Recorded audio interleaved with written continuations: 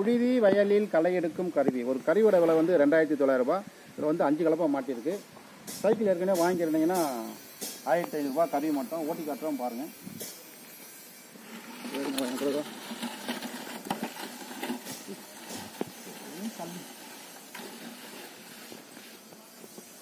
Right தேவைப்படுறவங்க கூப்பிடலாம். நன்றி வணக்கம்.